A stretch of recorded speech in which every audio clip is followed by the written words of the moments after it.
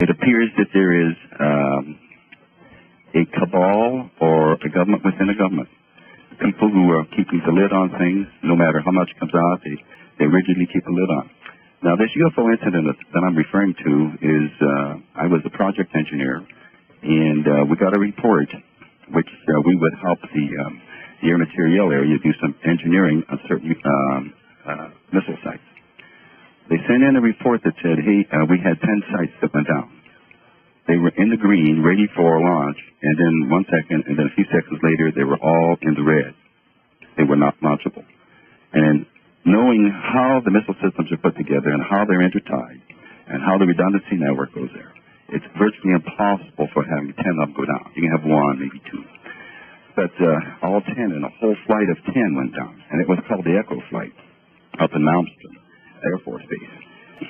Uh, long story very short, those 10 missiles disturbed uh, the hierarchy of the Air Force. They sent us the project. They're looking to send a team out to find out what was happening and what happened. Well, unbeknownst to me at the time is that uh, there was a report that there was a UFO hovering over a launch control facility.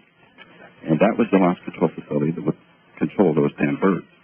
And that was apparently seen by uh, several airmen, and it was reported then.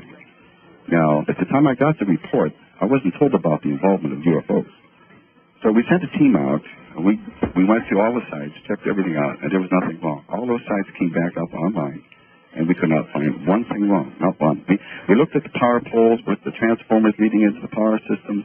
Uh, uh, we looked at the internal power systems, the electronics, everything and there was nothing that we could attribute to this kind of malfunction.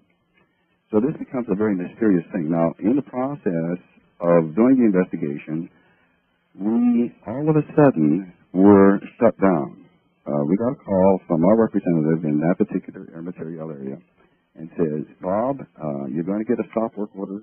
Don't do anything more and do not write a final engineering report.